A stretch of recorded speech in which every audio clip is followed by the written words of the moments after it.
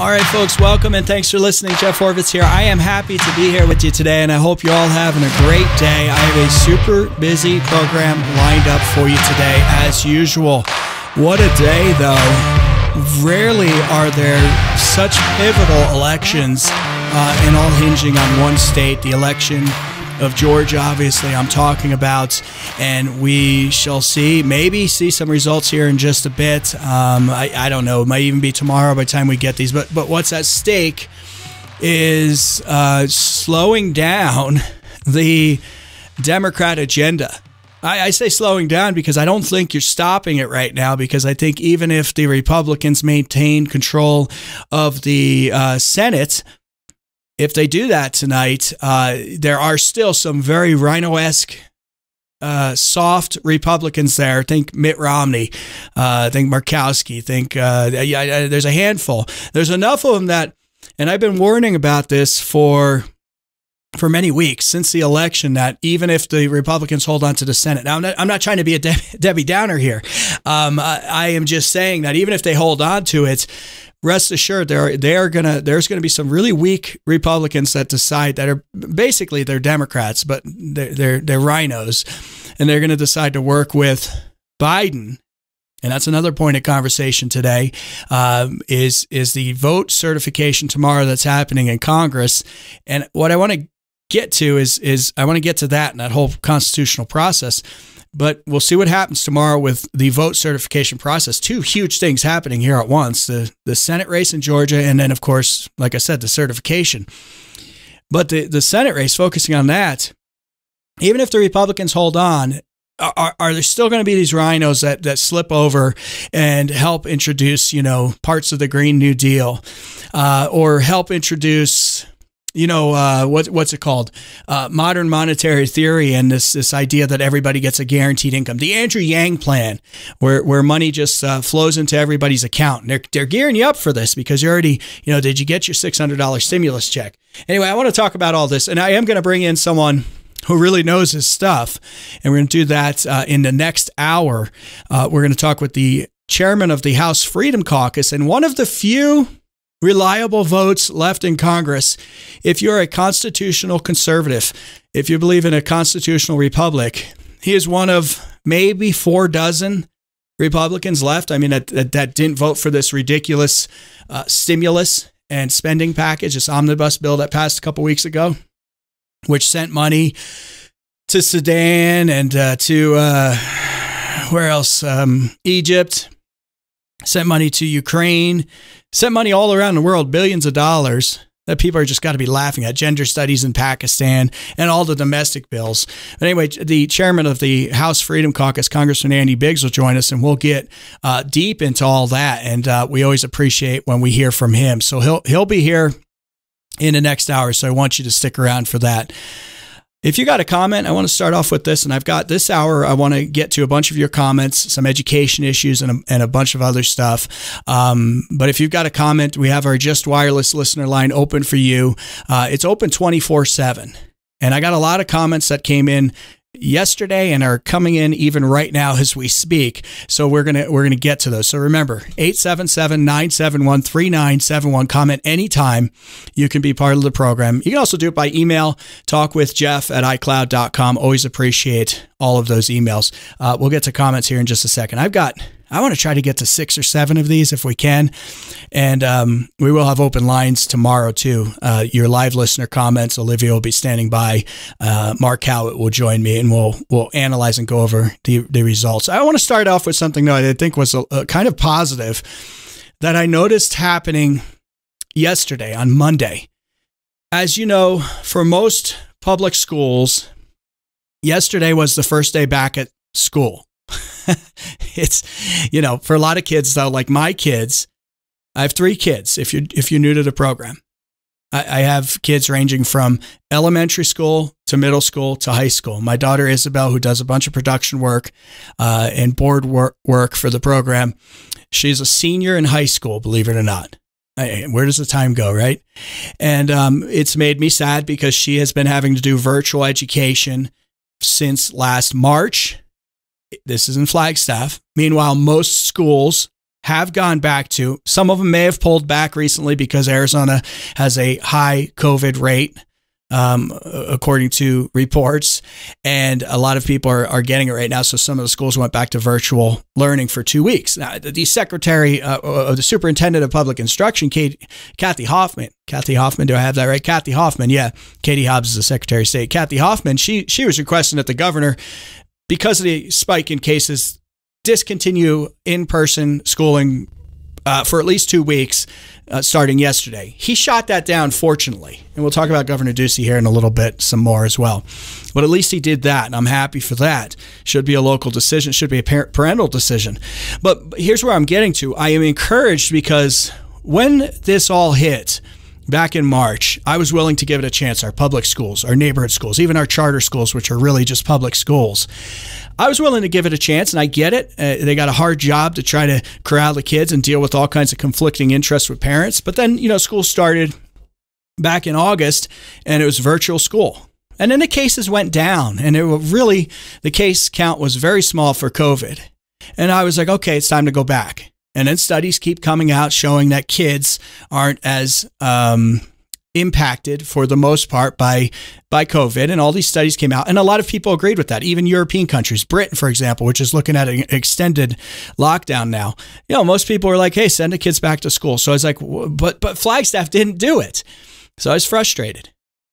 And, and I was like when are parents going to stand up and say enough is enough I'm taking my kids out of these schools Okay, so here's the optimistic part and the good thing about the new year, and people just had enough. I'm seeing more and more posts from various parents who finally did it, and they did it yesterday. They posted that I went to my school, I contacted my school, whatever. I'm seeing dozens of these, and I'm done. I withdrew my kid. I'm homeschooling them now. Do you have any? These are on forums and, and so on and so forth. Do you have any advice as to how to homeschool them? And, you know, I put in a couple comments. I don't have a lot of advice because my wife is doing most of this. She's using whatever resources she can find, including like Khan Academy for the math and so on and so forth. Plus, uh, you know, I'll teach my kids how to do my specialties. But there's the point I'm trying to make here is there's a lot more parents who have decided to yank their kids out of this system. And I am very happy today to see. I'm sad for the kids that, you know, they wanted to go back to school, they wanted to see their friends. But in the long run, the, the kids are going to be so much better off. What we need is a mass amount of people to take their kids out of these public schools as quickly as possible. No matter what happens with COVID, no matter what happens with the education system as far as going to school in person or not, what, whatever, schooling has changed forever. You know, if we're going to go back to the dinosaur age of, of teaching school anymore, I'm not going to participate in that. Now, full disclosure, I have one kid who's homeschooled and he's excelling. He's doing awesome. And this is what I hear from most parents after they do it for a few weeks is, oh my God, I'm doing this stuff in like half the time. Uh, the daycare stuff is taken out of the equation. You know, you got half the classes like they're there for daycare. Okay, maybe I'm being a little, I don't know what the exact number is, but you know what I'm talking about. A lot of these kids are there for, for, you know, they're dumped off at seven in the morning. They're picked up, you know, at dinner time. And I get it. It's tough out there. And, and people have started to rely and have relied on the government to watch their kids for a long time. But it's time to take our kids back and teach them the stuff they need to learn and stop teaching them the garbage that they don't need to know. Case in point, let me pull out an article here. Uh, there's this school, and I won't go too deep into this. This is ritzy. Um, what is this? The collegefix.com.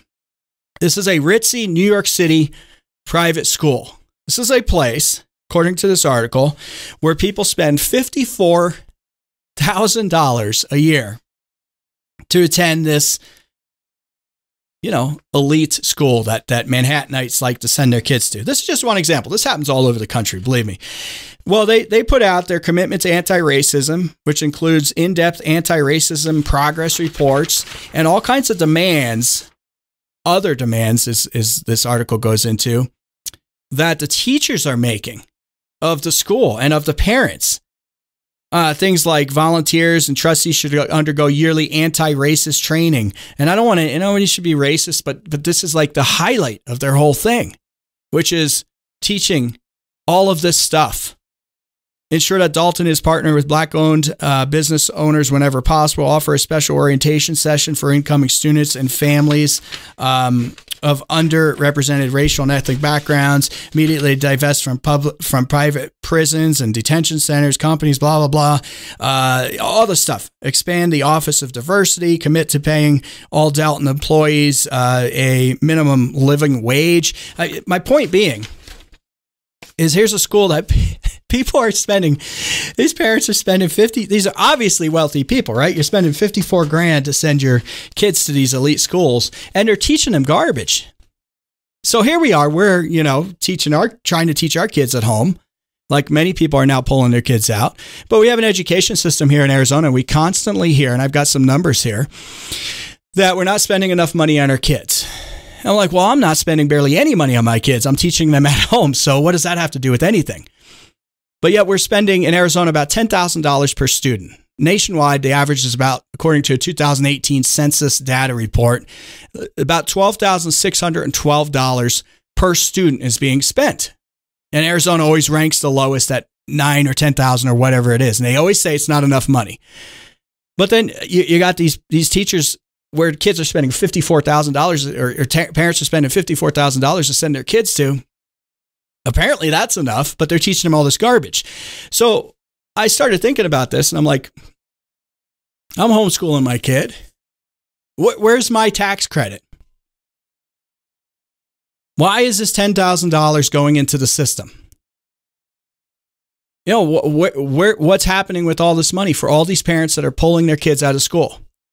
You know, I, I, I don't get any money. I, I don't even want any money. I just want them out of my education system, but they're still getting all this money. So where's it all going? As people pull their kids out of these schools. And I, I just, I'm shocked that more haven't pulled their kids out of these public schools, but I think it's coming. And I think more and more people are going to do this unless they start losing the money and then all of a sudden they say, oh, now we got to go back to school. Now it's safe to go back to school because we're losing all of this money. So we'll see what happens. But anyway, I'm encouraged. I'm optimistic to see the dozens of parents and families that just yesterday they were like, I'm done. I'm pulling my kids out of this stuff and I'm going to have to teach my kids myself. I'm going to have to do the homeschooling, or I'm looking at private options, which you'll have to you'll have to pay for. And I think that's uh, I think that's very good news. And I'd love to hear from you if you are in that situation where you've pulled your kids out of school. I'd like to know why um, you know, or if your grandkids were pulled out and how are they doing? Are they excelling? I'd love to hear from you because I think this is really interesting to see um, this positive aspect come out of COVID and these overbearing school boards and government officials who, you know, thought really think that the, the, the kids are theirs. They're not, and people are taking control of that and taking their, their kids back and uh, it's it's a good trend. I'd love to hear from you. 877-971-3971. Go ahead and chime in on the Just Wireless listener line. Hey, don't forget, um, please go to talkwithjeff.com. I appreciate everyone who listens on 97.1 The Big Talker. Um, and, and, we reach a lot of people every day, and I'm, I'm really excited for that and, and honored to do that. And, and it's, it's a great honor and privilege to do this show every day. Uh, we want to expand, though, anyone who listens in other formats like Spotify, you know, the podcast, the the just audio only podcast, but also YouTube, which you can do video um, and you can also just listen to. So please go to talkwithjeff.com, like and subscribe to your favorite medium outside of our normal FM broadcast, including subscribing to the YouTube channel. I really, really appreciate that. When we come back, uh, I got a bunch of comments. I want to spend the next ne- rest of the hour, get that out, um, going over, listening to, responding to your comments because there is a ton of them still coming in and you still have time to get your comments in 877-971-3971 and don't forget tomorrow wednesday is open line wednesday with, with uh, mark howitt and Olivia will be joining me. And two full hours, we will do your live listener comments and would, would really first show of the new year of live listener comments. Would love you to chime in, especially the vote certification in DC and the Georgia runoff race. Folks, hang tight. Back in a minute.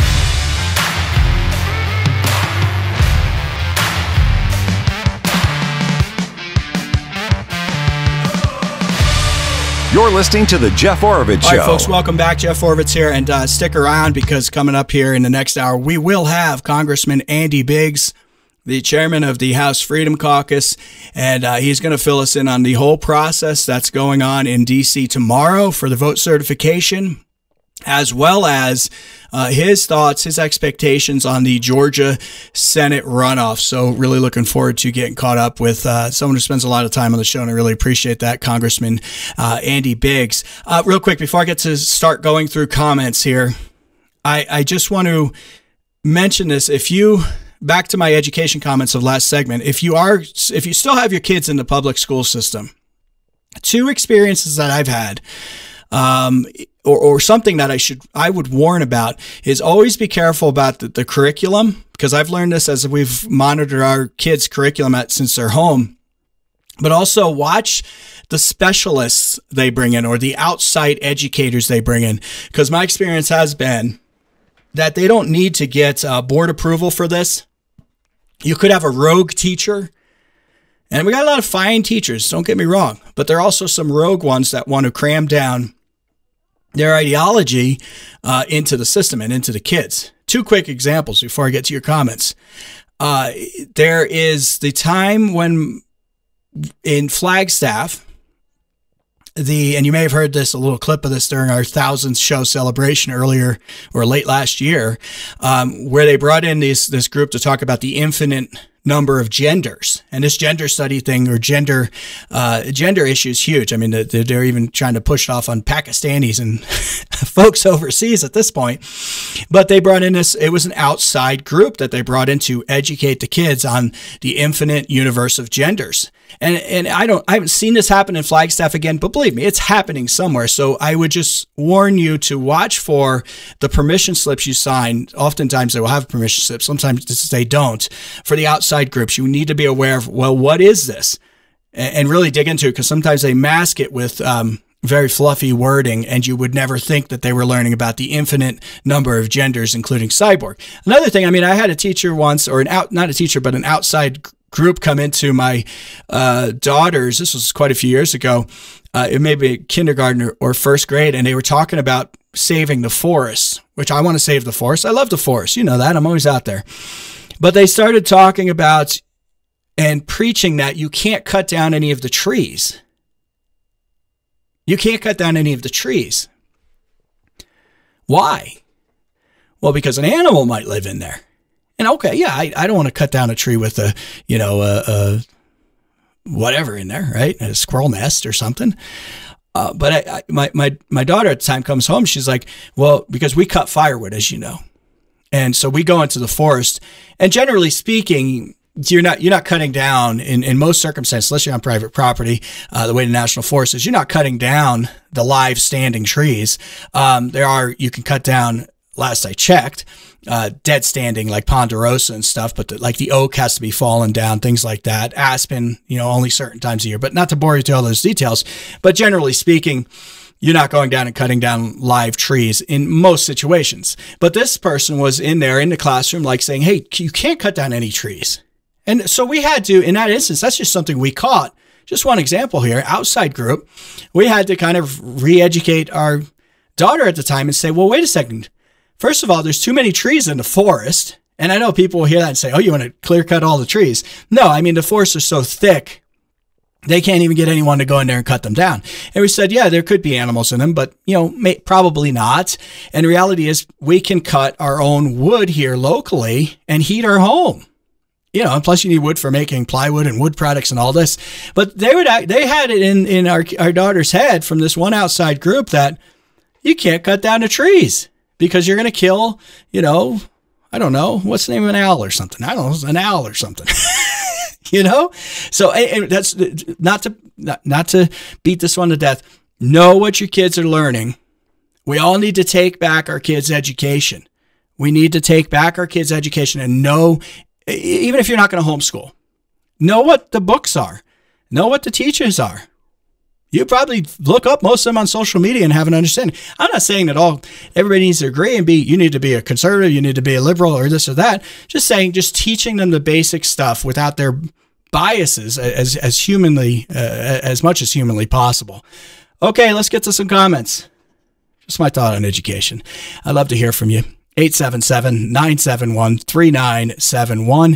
877 971 3971. Let's start off with this one here. Yeah, this is Ed from Flagstaff, a longtime Flagstaff resident.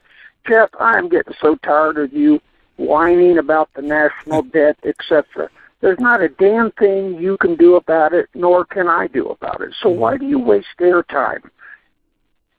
Okay. And as far as having Oh, your guests come in on Wednesday when it's supposed to be open line, you use the screening that I'm talking to to screen the topics. And very rarely on a Wednesday, like when you have Joe Golly in, can people call and ask him questions because you dominated two hours of talking about stuff with him.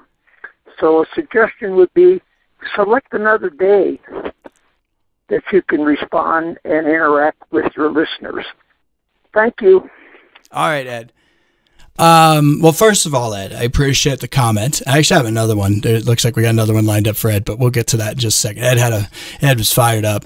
Um, I appreciate the comment, and I hope that tomorrow, Open Line Wednesday, you will chime in. We'll have two full hours of your live listener comments. I generally don't bring in uh, interview guests on Wednesdays. Wednesday is typically reserved for Open Line Wednesday. Last last week it wasn't because we didn't do it at the end of the year. Uh, but generally speaking, we do Open Line Wednesdays every week. There's some exceptions, but we generally do it every Wednesday, and everybody has the opportunity to call in. We we Olivia will take the calls and do some screening as far as you know. Can you string sentences together and basic stuff like that? But as far as uh, saying, oh, you can't talk about this topic or that, no, we're we're pretty open. It's Open Line Wednesday, Ed, and you are welcome to call in and participate in Open Line Wednesday. Uh, actually, I hope you do tomorrow. I hope you're listening right now. I hope you jot it down, starting right at 406. Ed, that's for you. Line up. We will. I am putting a standing order out there. Ed is to get through no matter what because we I want you to participate. But generally, no, I, I think I've had Joe Galley's supposed to be on. I think Thursday this week. He had to reschedule earlier this week. He's from the Greater Flagstaff Chamber of Commerce. I try not to have interview type guests where we're just going to be talking with them uh, once in a while if there's a special thing going on. Tomorrow, if Eric Trump or Donald Trump Jr. wants to call in to talk about the Senate race in Georgia, we will open a line for that for, for him. And, and and with all due respect, we're probably not going to open up the line, Ed, for you to ask, you know, Donald Trump Jr. questions. I mean, it's just not going to work like that. But we'll leave it open for you. But back to your other comment. What was the other comment? I already forgot. Uh, remind me. Remind me. Oh, the debt. Okay. why, why would I stop talking about this? I get it. I I admitted yesterday, and for folks that can can watch back on YouTube, um, I pulled up all these stats yesterday about the national debt. Let's pull it up. Let's pull it up one more time here. National debt from USDebtClock.org. Uh, this was a snapshot yesterday, so I'm sure it's much higher. It's nearly 28 trillion dollars. $83,000 per person, $220,000 per taxpayer. The federal deficit's 3 trillion. Really, it's probably more closer to like 4, probably going to get, get over 5 or 6 uh, with Biden. It's crazy. Debt to GDP ratio is, is like 134%. This is 130, but I don't think this is right. Why would I stop talking about that? I know, Ed. I know that there's nothing that we can do about it. That's the point. You can't keep adding to this thing, Ed. So yeah, I'm going to bring it up from time to time. And in the beginning of the the first show of 2021, yesterday, I went through all the different time periods and how much debt we have and the debt to GDP ratio. You can find that on YouTube. Go check it out. Go to talkwithjeff.com if you missed it. I know it's a little dry sometimes when you talk about that. But the reality is, we have to talk about it. We have to talk about it. How can we not talk about the fact that our country is 134% debt to GDP ratio? How can we not do that? And I know that they can't fix it. They don't even want to fix it, Ed. I know that. I acknowledge that. I acknowledged it on the on the program yesterday. But we still got to talk about it because I want folks to understand and most of you do the ramifications of this much debt. And what are they going to do? Look, there's they always pull a rabbit out of their hat, but eventually they won't be able to. Are they going to just stop printing the money and what'll ha- stop extending the credit? What'll happen then is things will deflate and, and there will be pitch, pitchforks and torches. Or the opposite side, which I think is the most likely scenario, is they're just going to keep pumping it in. And they're already priming you with these stimulus checks. So the IRS just deposits money right into your checking account. Eventually they'll do it and say, Ed, we're going to deposit $2,000 in your account. You got one month to spend it or it's going to go away. We're going to do negative interest rates on you, Ed. And uh, that money will slowly uh, chip away. So I do it more as so you know. And I know a lot of you know, but you're reminded how out of control these people actually are. And we'll talk about this coming up with Congressman Biggs in the five o'clock hour. But I think it's important to keep it out there, Ed, and to make sure that people understand the ramifications of what they're doing and to prepare yourself.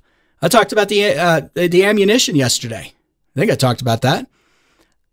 I've been looking for replacement ammunition uh, after going out with my kids and doing some quail hunting, which we didn't get anything, um, and uh, you know practicing. And you can't find any. Can't find any screws.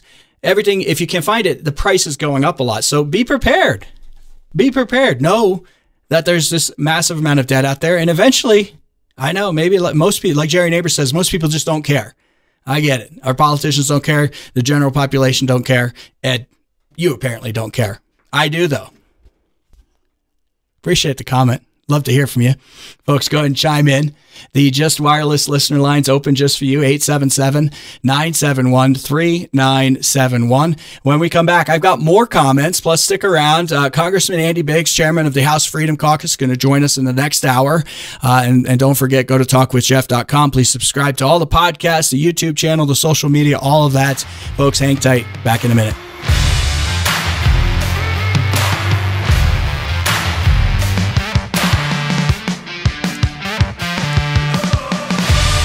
You're listening to The Jeff Oravits Show. All right, folks, welcome back. Jeff Oravits here, and we will have Congressman Andy Biggs in the, in the next segment after the five o'clock hour, next hour. So stick around for that. We got to get the nuts and bolts here of how the vote certification process will work. What's the constitutional process?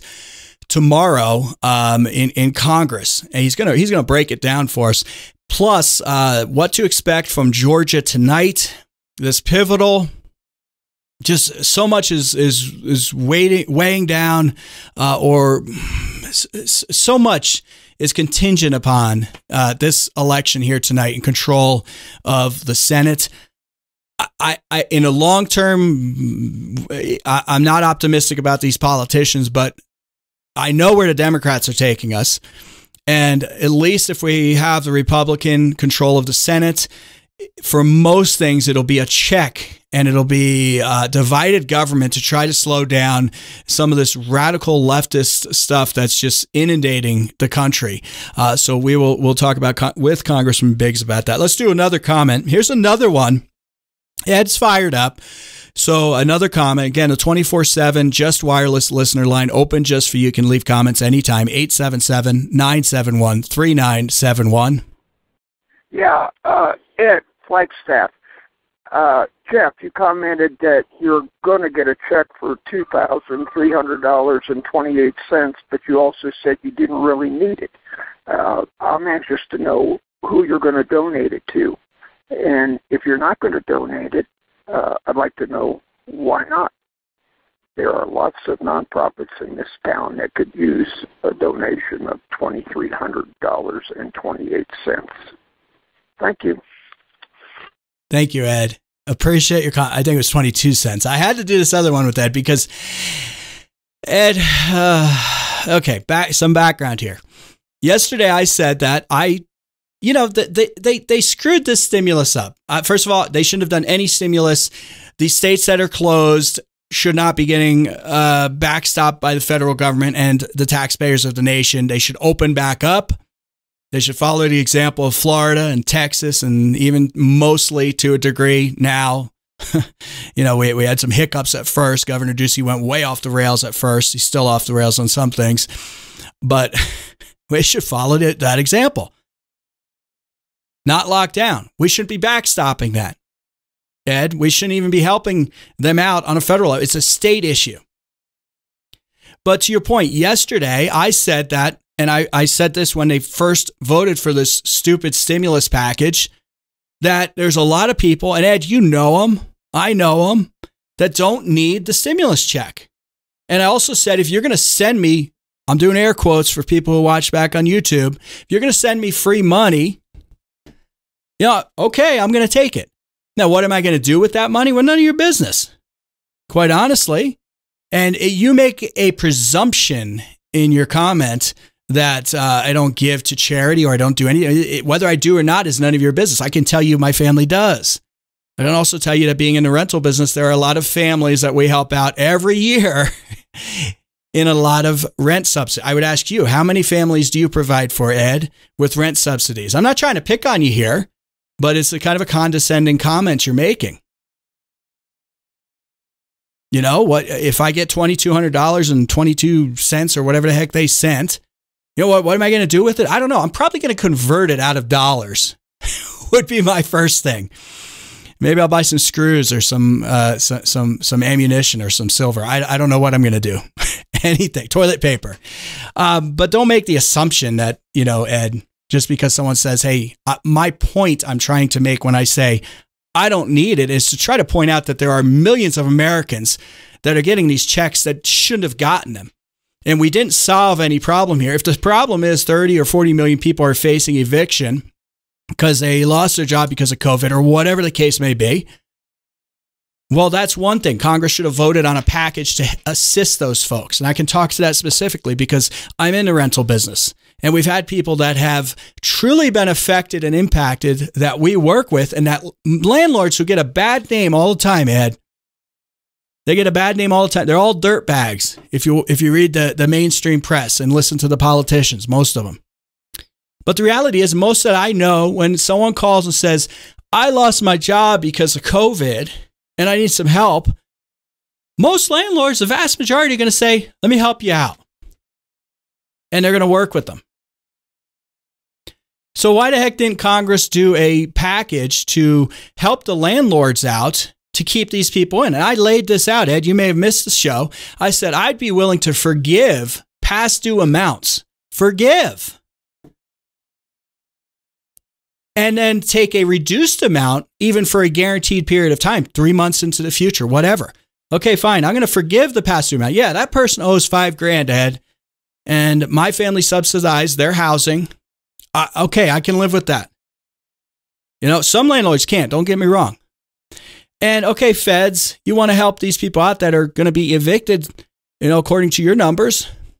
Well, I'll, I'll take 25% off the next three months. Why don't you prepay that direct to our, you know, our rental company, whatever, personally, whatever, however you hold it.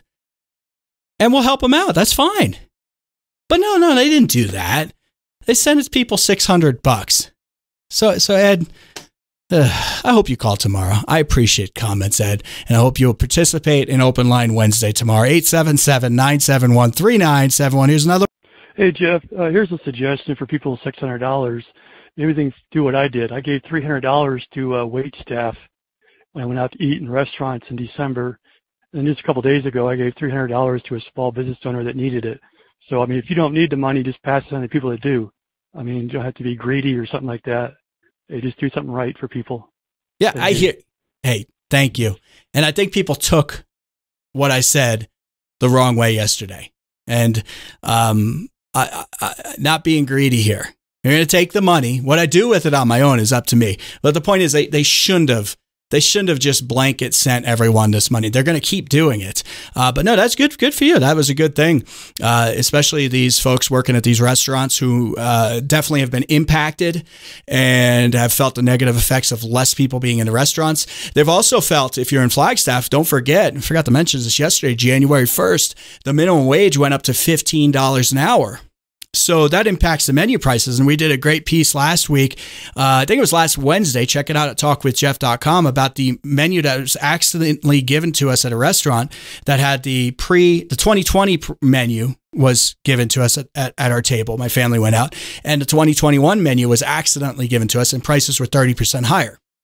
So people will go out to eat less, perhaps, and then those servers who are already dealing with maybe less tables because of restrictions on capacity are getting less tips. They're getting less tips because the minimum wage is 15. So some people are like, I haven't done this. I still tip the same amount. And They have to offer awful service for me to you know, go down on that because I, I used to wait on tables. Uh, back before I was a back before I was a greedy landlord, I waited on tables and um, it was it was a good job to have and, and taught me how to hustle. Um, so I understand how, how tough of a job that can be. But I think that uh, some people are tipping less because they're like, hey, this person's making a lot more than, you know, uh, they used to make at half the minimum wage or whatever it is. But good comment. No. And again, back to the same thing that Ed was saying. Don't don't assume because I said, "Hey, I don't need the money" because I'm speaking I think I'm there's a lot of people that need the money. I get it. There's a lot of people that are hard up and not well off in this situation. There are a lot of businesses that are struggling, going out of business, but there are also many people that are prospering and many people that have had their best year ever. I'm not making this up. There are plenty of people. Go talk to a lot of people that are having their best year ever, and they say like, "Why? Why did the government just send me twenty two hundred dollars or six hundred dollars or whatever?" That was my point. They're doing it wrong, but that's the government. That's why they shouldn't do this stuff because they always get it wrong. Appreciate the comment. Go ahead and chime in, folks. 877 971 3971. Here's another one. Uh, Jeff, regarding the uh, stimulus checks and the amounts, and the wherewithal behind them or what's going to sustain it. Uh, my big concern, I was looking at some of the numbers the other day, and it said we the, the president signed $900 billion stimulus package, of which only 166 billion went for the 600 plus or minus so-called stimulus checks. So I'm thinking why didn't this bill? Why weren't these bills stand alone? You could have increased the checks many times if you didn't add all the other pork in there. So very discouraged at our politicians and even a little bit at uh, President Trump for suggesting we keep sending out these stimulus checks, which could maybe in a few years become universal income, which I'm sure nobody would object, because you stated yourself that if you got free money, you would take it. Yeah, yeah, no, good comment. I would take it knowing the ramifications. I mean, I, they're sending a blanket check to everybody. I'm not going to be the only fool. you know, the, the, the, helicopters are flying up above, dropping money. I mean, come on. No, but I, I don't want it. And I know Ed will have another call, and Ed, hope you call tomorrow. Um, you know, so I, I, should do X, Y, and Z. But no, the point is they're, doing this universally. They're, they're doing it wrong. Um, but I agree with you. Why would you send, you know, you talk about, and I was disappointed with Trump as well as far as signing that. I was disappointed with many, most of, you know, the House and the Senate that voted for this thing. But if you were going to do, if you were going to send anyone money, you wouldn't send it to Sudan and Egypt and all these other places. You send it to the American folks that are struggling first. I don't agree with sending checks because I think when we're sitting and having arguments as, you know, Republicans in Congress are having arguments that, oh, no, no, no, $1,200, that's crazy. That's socialism. but $600 ain't or $2,000, eh, you know, that's, that's, that's crazy talk. No, just send 600. I think you're just you're, you're just talking degrees of socialism at that point. So I, I totally disagree with the whole philosophy of stimulus. But you would send your people money before you would send money to foreign countries. I get that. But my point about they shouldn't have sent it to all of us because there's many think about all the folks who haven't lost an hour of work during COVID uh, think about all the people working in different government positions. I'm not picking on you. There's a lot, I know there's a lot of jobs out there that are needed, but the reality is you have a secure job. And I know as soon as I say that, somebody will call and say, I was let go of my government job. I, I get it. I'm, I'm tr- not trying to talk in absolutes, but in general, you have a secure job. There's a lot of people. There must be hundreds of thousands of them in Washington, D.C. that are sitting in their cubicle thinking of stuff. Um, that didn't lose their job. They didn't lose any hours. They may be working more. Why? Why would you get a stimulus check? That's my point here.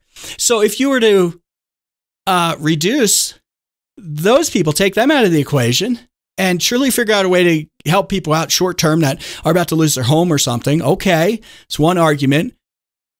You would have more money. You'd have more money to send, and instead of sending six hundred dollars to someone who's five months behind on their rent because they got COVID or lost their job because of COVID, you'd have a lot more to help that landlord tenant relationship or that uh, the, the, insurance company, you know, the, the people can't pay their insurance, their medical insurance. So uh, some kind of help with that. I, you know what I mean? It's just all wrong. They, they just got it all wrong uh, once again. All right, let's do one more before we go to break and before we get to uh, our interview with Congressman Andy Biggs, 877 971 3971, the Just Wireless 24 7 listener line. Uh, hi, Jeff. My name is Paul from Flagstaff, Arizona. Um, the suggestion you're asking for is what would we like for the city to do for us? And at this time, rather than paper over a lot of governmental mistakes, I would like the councilwoman, I think her name was Sputsanova, that's how I call her, I would like to require her to come back to the city and operate a small business uh, starting January 1st when the minimum wage goes up uh, at her bequest and how she pushed that one through. And I'd like to require her to operate a small business uh, with her own money or maybe with the money that she received from the government and see how well she does in the environment that she helped create to, for a difficult business climate for some of the smaller businesses in Flagstaff. Thank you, Jeff. That Happy is a that is a great. I can't add much more to that. I really appreciate that comment. Uh, and he's referring to former Flagstaff City Councilwoman Eva Putzova, who is almost solely responsible for the minimum wage in Flagstaff, one of the highest minimum wages in the nation. She then ran for Congress in the primary against Tom O'Halleran and lost. Uh, but no, that is one of the greatest. Yeah, can you operate a small business under these conditions in this environment. Uh, I would offer that uh, as good training and understanding for anyone in a cubicle with a clipboard from the government. All right, appreciate we got through five of the six I wanted to get through, and that's pretty good. We will uh, continue comments tomorrow. Remember, starting at 406 on 97.1 The Big Talker, we will have two full hours, open line Wednesday, your live listener comments. And yes, you will get through. I, I, can't guarantee that everybody gets on. If we can, we can usually take around 10 to 12 calls in that period. We'll try to get more. Ed, I really want you to line up and call. I want to hear from you, but you're all welcome tomorrow starting at 406. But don't go anywhere because coming up next, uh, we're going to get the lowdown as to what, or is it the down low or the lowdown, down low, whatever it is. We're going to get it from the chairman of the House Freedom, Freedom Caucus, Congressman Andy Biggs. Folks, hang tight. Back in a minute.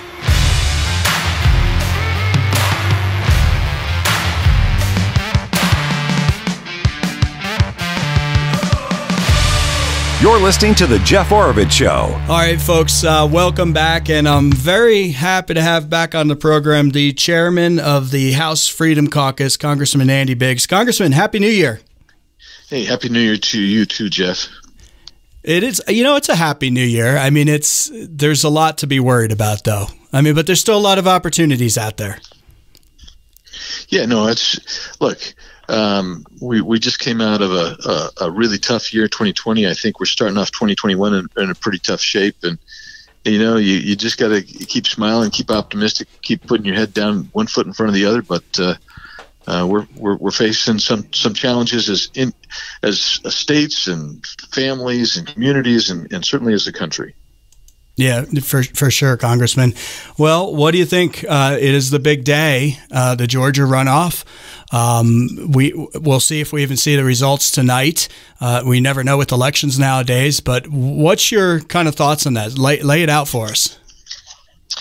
Well, I think it's it's really close. It's it's almost impossible to, get at what's uh, how that's going to go. Uh, it's, it's, so close um, that pollsters actually quit, kind of quit taking polls, and and uh, uh, you know I'm hopeful, but uh, Democrats had a bit of a lead from the early balloting and and returned ballots, and hopefully Republicans get out there and vote like uh, like mad today. Yeah, I, I hope that's the case because um, you know, I've had a lot of concerns, Congressman, with the way some of your colleagues have been voting. Uh, I've talked about it a lot on the show. Um, you stood your ground on the stimulus here uh, just a week or two ago. Um, there wasn't a lot of you, though. I mean, it was like 50 maybe in the House, all, all Republicans, right? Yeah. Right. Yeah, that's right. Um, no, I mean, but but it's it's worse. I mean, so so so I like I, I, I like to liken it to this.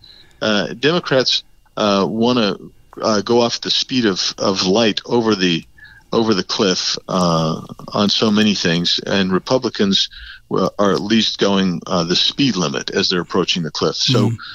Uh, the matter is, what that means is we can actually turn uh, if the Republicans uh, have control, we can turn a lot easier than if the Democrats are in control. Yeah, so I mean, let's play this out for folks who maybe don't pay attention every day, Congressman. I mean, this it's a super slim majority in the Senate. But by the way, real quick, how how close did the um, it tightened up in the House this past election? Uh, uh right. I, I mean, Pelosi just barely got back in, uh, not not her election, but a speaker. Right. That's right.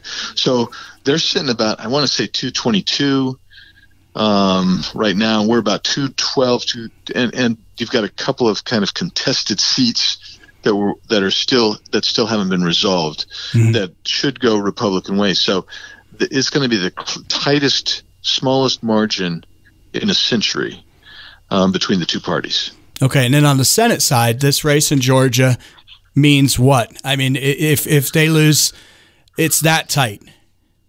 Yeah. So right now you have 50 Republicans and 48 uh, Democrats in the Senate. Uh, in the Senate, and you got these two seats. And what that means is, if the Democrats win that, then it's 50-50. That means whoever's the vice president will be the president of the Senate and will break all tie votes. Okay. So, so that's how critical uh, the Georgia vote is. Absolutely. Okay, so let's fast forward because there's not enough going on today and really into tomorrow as they're tabulating votes, I'm sure.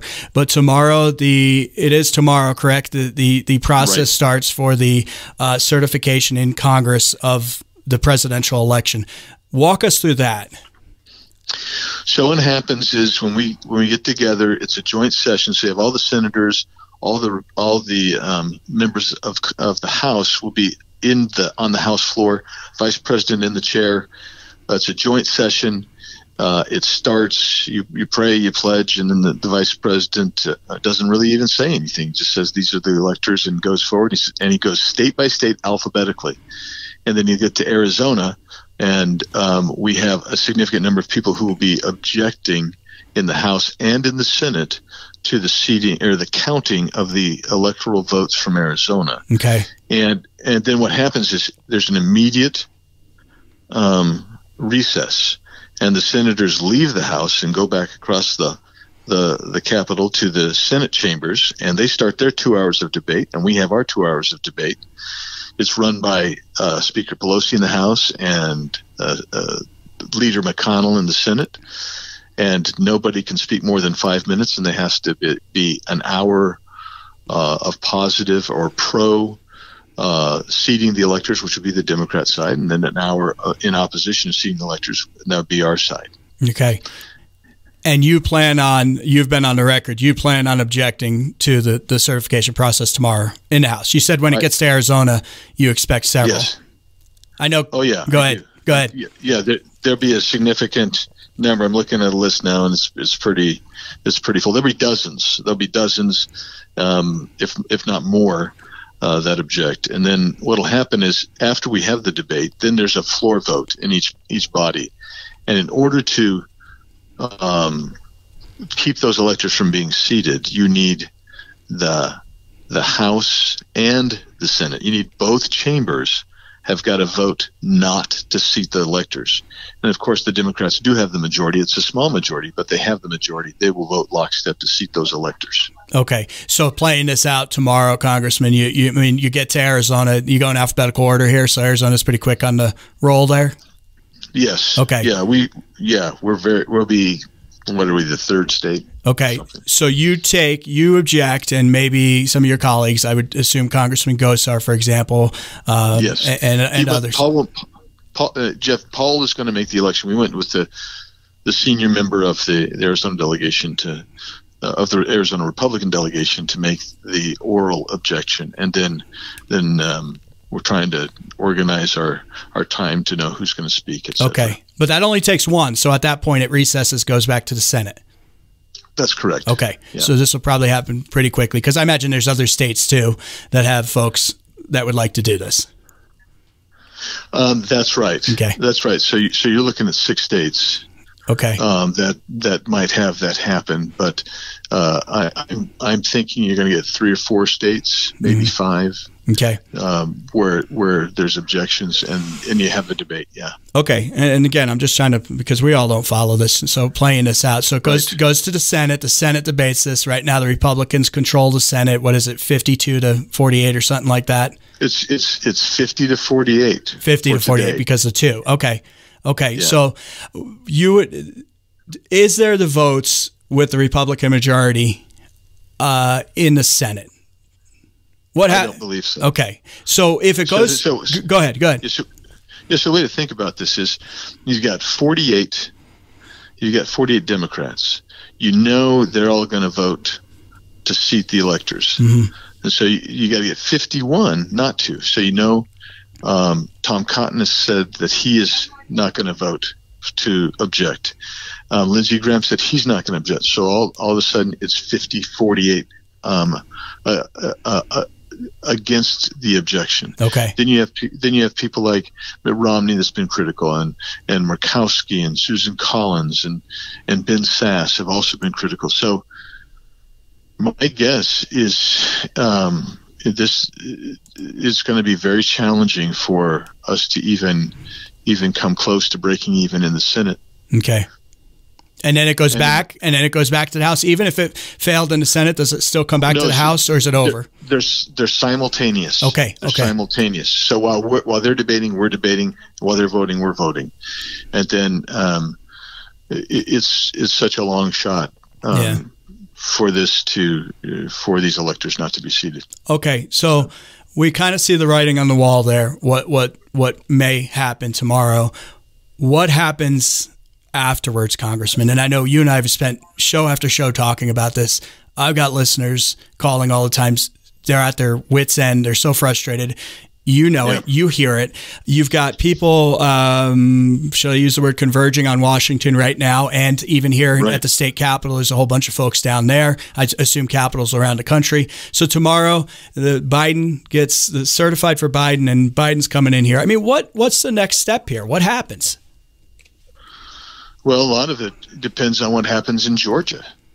If if the Republicans win in Georgia and we maintain control in the Senate, then what happens is the Senate becomes the backstop for all of the crazy left-wing socialist policies that are going to be promulgated by by the Democrats in the House. If the Senate goes and, and I don't know if you followed it, uh, Ossoff and um, um, the other guy, I can't remember his name, uh, from Georgia. If you follow those guys and look at what they've said, they're you know they're they're the defund police. They're Yeah. the the you know free freebies to everybody that free college for all, free Medicare for all, everything's free.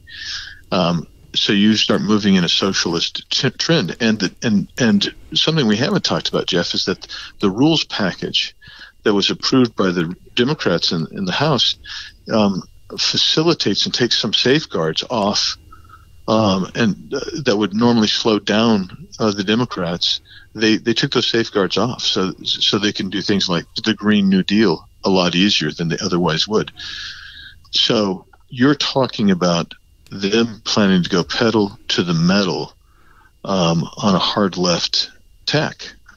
And don't forget, too, um, I, I spoke to um, a very senior Homeland Security folks last week about what's happening on our border. Yeah. Because, because of what President Trump did, Title 42, we're turning away more people that are trying to sneak into our country than we were during the surge. And if Biden takes that off, which he has said he's going to do, he won't be able to turn them away, and we will immediately move into a surge of open border issues like we had um, when all the caravans were coming up here in 2019. So we're facing just an absolute huge uh, se- series and set of problems uh, depending on who takes those two Georgia Senate seats coming up tomorrow. And do you think that even with the let's let's see let's say it goes to the Republicans tomorrow and, and they, they hold the Senate. Um, isn't there still? Don't you still have concern? And I'll just I'll go first here. I have concern that in a, on a lot of things it's still going to be iffy because you've got a couple of weak Republican senators. Uh, just call it like it is. Well, you do. Uh, you've got some senators who think very differently than than I do on whether it's immigration or spending, or you got a bunch of war hawks in the Senate. Um, you've got um, you just name it. They're they're there, and um, and, and they don't always uh, see eye to eye with uh, the conservatives in the House. And so it's going to be tough. It's going to be tough sledding. And, one, one, more thing here, and let me pull up. And folks, by the way, a lot of you can follow me on YouTube, and I, I want to put this shout out here. Uh, if you're watching back on this on my YouTube channel or Congressman Biggs' YouTube channel, uh, please like and subscribe. I see your YouTube channel has grown quite a bit recently, Congressman. So wherever you're watching this, please please do that because we want to get the word out. But I'm pulling up a picture here on the screen of Representative Emanuel, and it wasn't a good start. to the swearing oh, you mean Emanuel Cleaver? Yeah, yeah, yeah, Cleaver yeah. Yeah, and I'm yeah. not going to uh, play the audio again because I did that a couple times yesterday. But I mean, what is this a mindset there that I mean, us folks in like the rest of the country, we can't even conceive how off the rails it's gone. Yeah, that's right. So I, I, I, liken it to if you walk in, you're dealing with my friends on the other side of the aisle, the Democrats. Yeah. And you and it, it'd be like you walking into the most liberal uh, campus of a university in America, and and walking in uh, with a conservative point of view, and you want to talk about John Locke and freedom and maybe Frederick Hayek or whatever it is you want to talk about. They just don't get it, and they're really out of touch they're out of touch with the mainstream in America. Yeah, and that was cute. And, and, just as a reminder, if you weren't listening yesterday, he's at the end of the, the prayer, he said amen and a woman. And it was like it doesn't even it didn't even make sense from a historical or dictionary point of view. It was it was stupid. No. It was just stupid. He yeah. was just trying to get a headline, I think. I, I don't know what I don't know what in the world that was about. That was that was just odd, but it's but it's consistent. So so um, so they're they're attacking me saying, well, it's not true. Basically, what Biggs says that that you aren't going to be able to say father, husband, brother, son. Mm. And I said, well, why don't you read your own rules? Yeah. They said, yeah, he hasn't read the rules. No, no, we've looked at them pretty good, pretty well. We we I think we know what what they're doing. They're they they just don't want to tell the Americans straight up what's going on. They want us. They're also they're also uh, wanting to discipline what we put on our on our uh, websites and our social media. And uh, this is just uh, outrageous. That's Orwellian. They're, they're, yeah, that's Orwellian. Yeah. Big Brother it, within Congress. They want to actually watch and monitor your like congressional site, your your public sites. Yeah. Oh, yeah. Absolutely. Wow. Wow. And um, this is that's the authoritarianism that I, I, I often say is inherent in in uh, the leftist uh, uh, philosophy in America today. All right, folks, we are talking with uh, Congressman Andy Biggs, who's the chairman of the House Freedom Caucus, and uh, obviously a big vote today in Georgia that'll determine the Senate, uh, and, but then a big vote tomorrow. And uh, as far as certifying the election results and the presidency, and we've already laid out how we think this is going to go. Um, Congressman, they laid out these rules. Uh, Speaker Pelosi and, and her her buddies as far as how you're going to operate. And then we had the prayer where they're talking about a man, a woman. They're talking about gender neutral language. And I'm thinking to myself, and one or two of my listeners will get aggravated because I talk about the national debt and the condition we're in right now quite a bit. And a lot of people say to me, Andy, they're like, why do you keep talking about this? It doesn't matter. Nobody's listening. Nobody cares. Um, and no, there's nothing you can do about it. And I'm pretty convinced there's almost nothing we can do about the national debt and the deficit problem at this point but I'm trying to prepare everybody for what probably will happen if we go down this road. Look at this. This is the official numbers, $3 trillion deficit. We know it's higher than that. Federal spending, 7 trillion, probably going up to 8, maybe more. Is there even a talk about it anymore? Yeah, well, it's hard to get a, get up a, a, a few con- conversations with it. I, I I know who I can go and talk to here about it and have a serious discussion about it. Uh, there is talk. It's always uh, not the right time, though. That's yeah. what they always tell me. Yeah. It's not the right time. And I say, well, when is the right time? When is the right time to actually address uh, spending, the national debt, the structural deficit. When is that? When is that? Well, you know, now we've got a pandemic. Well, what was it before that? Mhm. No, we were we were in a, a slight recessionary uh, trend. Well, what was it before that? Well, we had an inflationary period. They they they find every excuse they possibly can to perpetuate spending, and so, so some of us who come to them and, and really put try to put pressure on them uh, they they view us with great disapprobation. They don't want to, to talk. And I'm not talking about a single. I'm not talking about just the Democrats. I'm talking about there's a lot of Republicans as well. Oh no, I mean absolutely. We saw that with the stimulus. So I mean, we're gonna. If you had to uh, play this out, um, where do we go then? Because we we heard the talk that this is we're going to continue with the COVID issues, and it's going to go on for a long time. I mean, do we have a four trillion, five trillion dollar deficit next year too? I mean, how does this? Do they pencil this out? Is do they war game this, Congressman? They do not war game this. Come on, man. Don't, don't about.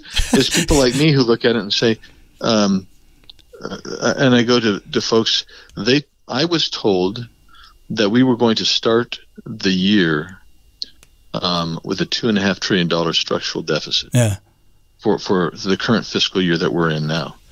And we are what three months into the uh, three or four months into this fiscal year, and uh, the question is how much will it exceed that? And the spending packages that just came out will push that up, uh, in my opinion, by another trillion or so at least. Unbelievable. But then how do they justify? I mean, people are frustrated with the Sudan thing, the Egypt thing, the Vietnam thing, the Ukraine thing. How do they pencil all this out? And and how are the people just how long do the people Well, what- put up with this? Well, uh, hopefully not much longer. But I mean, the the way they the way they justify it, they'll say, uh, you know, uh, well, we need to do this to keep them on our side, to uh, keep peace there, blah blah blah. And and you know, as bad as the the foreign aid spending is, I can tell you what, if we if we sat down and looked at our budget, you would you would find so many domestic programs Oh yeah. uh, that you'd say, "Oh my goodness," and they all spend more. So, so, but never forget that the that when the Democrats are in charge and and the left gets in charge, uh, a lot of this is is for odd things. I mean, so for us to give twenty nine million dollars to the Afghan security forces to do gender equality in the Afghan security forces, I want you to understand. You have a significant portion of Afghan Afghanistan that still is uh, trying to operate under Sharia law. Mhm. And when you give money to, to Pakistan, $10 million as well, and then when you send out money um, for uh, early childhood development around the world, uh, you're, you're, you're ignoring uh, the mantra that, that President Trump always said was America first. Yeah. Make America great. And as we are great, then we can lift others. But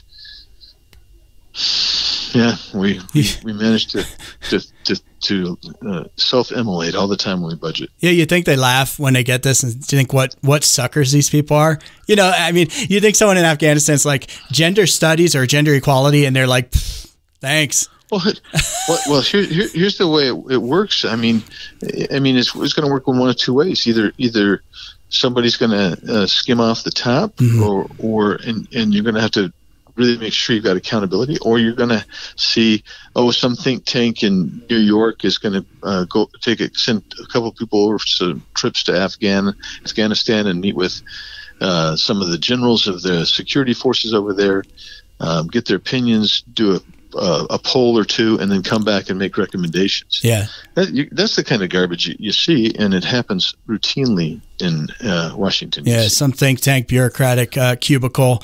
Uh, what was it that Elon Musk says? Maybe a few too many MBAs going on right now. Thinking, thinking, thinking stuff up. yes, exactly. Maybe not not picking on people with MBA. There's plenty of smart people out there, but there's also a lot of useless stuff that happens. Okay, uh, Congressman, I know you got to go. I want to finish up here.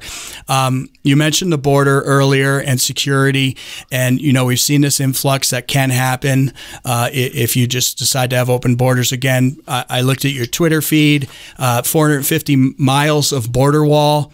Um, it, there has been a lot of stride uh, or, or strides under President Trump. Yes. Yeah, that's right. And so, and I think he's trying to get 500. If he's, it's possible to get maybe 500 uh, uh, miles out before uh, the 20th of January. They've got crews working uh, double double shifts, etc., trying to trying to uh, get things done. Is, is what I've been told. Okay. But uh, here's the way to think of it. During during the surge, we had as many as 35,000 people in custody, and now we have a thousand people in custody. Title 42 allows uh, border patrol agents to turn back folks who are coming into the country illegally, just immediately turn them back.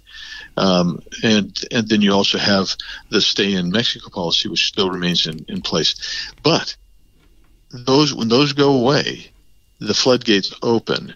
Uh, the reason that you you you've seen uh, one caravan form, the reason that, that we're seeing a movement is that the cartels know that if Biden is the president, especially if, if they get the Senate as well, they're going to change our laws. ICE ICE had a reduction in funding in, in the NDAA bill. Uh, they're they're trying to attack C- CBP. They want to turn them into uh, basically a search and rescue um, operation instead of a border security operation. You're going to see like to help them back across and stuff. Like if they get in trouble. Yeah, no, yeah, go, go out and rescue them, which they Okay. already do. Okay. That's one of the things they already do. But all these provide incentives and lures to come into the country illegally. And as that happens, um, I'm just going to tell you that that's why um, we're seeing this massive, it's not even getting any play in the media. There's a massive surge of people trying to get into our country today. Fortunately, they're being turned around. But they're just waiting. But- they know. They follow the. They know. They know what's They know. The- happening. yeah. Yeah, the car- cartels are advertising again like they, they did before. The NGOs up here, the do-gooding NGOs are advertising down there. And uh, what the what some of those people fail to understand is they actually uh, facilitate and contribute to human and sex trafficking, and certainly drug trafficking, uh, by uh, by facilitating and advertising uh, ways to get up here and how to how to beat the system. Yeah. So you're going to see a lot of things that look reminiscent of uh, of Obama era um, um, policies. Yeah, third term, first term for Kamala. Um, okay, Congressman, um, real quick, looking ahead, biggest fear going into we're in 2021, um, but but leave us with some optimism too, please. Well, the, the the optimism I have is that I th- American people are very resilient, and I and I do believe that uh, the Democrats will overstep, and what that means is that that Americans will reject that. Americans will say no. Too much. we yeah. we are free people. That's too much, and that's that's what that's what I keep hanging my hat on. yeah. Okay. Well, we'll stay away from the negative. We've already kind of gone over that, I guess. Yeah, absolutely. All right, Congressman. And again, folks, hey, go go subscribe to his YouTube channel, my YouTube channel, wherever you're watching this, and uh, we really appreciate that. And uh, I might see you next week. I may join you down at the border. Uh, we'll see. Oh, we'll see how that yeah. goes. Yeah, and, and do a tour. We'll, you know how it is scheduling and make, making all that happen. So, uh, best wishes to you here tomorrow. Good luck with the uh, Thank you. the the um, Thanks, Jeff. constitutional process. We'll talk with you soon. All right, folks. Yeah, it's it's an interesting process for sure, and um, we'll see what happens. It doesn't sound obviously obviously we're all we're realists and we know um, what's going on in, in Washington tomorrow, and that it's it's highly improbable that that this is going to pan out uh, the way many of us would like it to for President Trump. But the reality is, and what what happens? What what's next? Because so many people, and Congressman Biggs kind of brought this up. So many people are frustrated with the process, and um, so many people. I brought this up to be reasonable. So many people, you know, they don't, they didn't believe in the election integrity before this, and I'm talking about people on the left. I mean, look, we spent four years of people claiming that President Trump's presidency was illegitimate. And now there's going to be uh, so many of us who are going to be like, well, this president is illegitimate. And where does that end? It's it's not good. And we've covered a lot here on the, on the program. It's a scary time. Um, I, I, I share this story with you. I went out to you know I went out last weekend with my kids and Olivia and Owen were on the program yesterday and you can get that uh, by going to the, the, the podcast you can go to talkwithjeff.com you can hear the podcast back on uh, uh, on Spotify or on YouTube uh, from yesterday's show but we talked about we went out to do a little quail hunting and we didn't get any quail. Uh, we we tried, um, but of course the kids want to shoot afterwards since we didn't get to shoot at any quail. And so we decided to do a little target practicing on uh, the box of uh, empty, in this case, 20 gauge uh, shells, and uh, did a 22 and then did a 20 gauge, and you know popped off a few rounds to have some fun. Well, I figured today, this morning, I went out and I figured that um, I would replace the rounds that we burned off that I had bought a couple years ago when there was, you know, when you could go to any store that sells ammunition and um, there was just mountains and, and, piles of this stuff, right? So I go out and store after store uh, was either completely out. There's a couple that you couldn't get anything, um, or uh, you know, very limited supply, and you can have one box. I don't know if we have it here, but whatever. But anyway, uh, John Kistler gave me a lead on getting some. Uh, um, you know, and, and every place has a little bit of something. And thanks, John, for that, and replenished my uh, 20 gauge and my uh, 22 rounds that we used.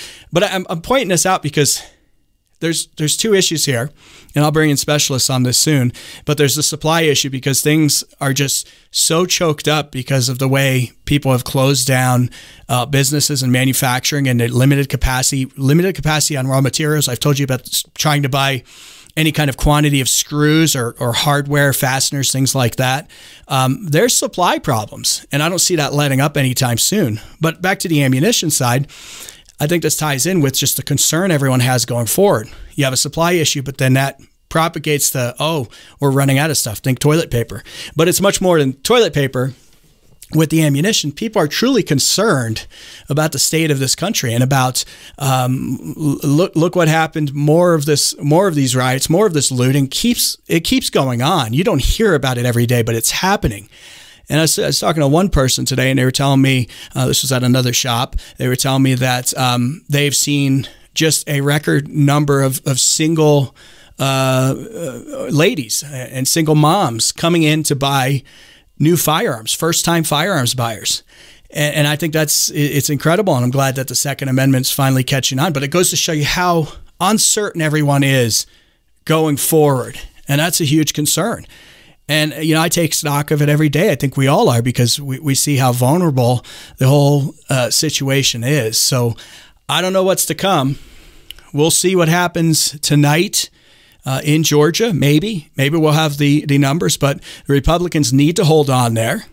They need to for the sake of our country. And uh, we, will see what happens tomorrow. I think we know what's going to happen tomorrow with the vote certification in, in Congress. But Georgia is so critical. And I hope that tomorrow on the program, we'll have those results and we'll be able to talk about it because tomorrow is open line Wednesday. We'll do two full hours of your live listener comments. And yes, we'll take your comments. All comments are welcome. We will fit as many calls on as the two hours permit. So I hope you'll participate. Ed, we want to hear from you as well. And folks, keep up with me by going to talkwithjeff.com.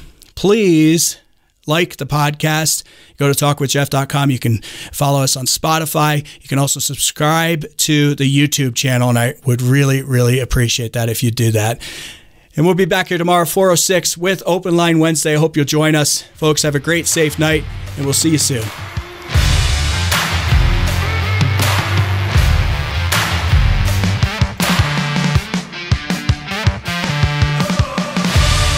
You're listening to The Jeff Oravits Show.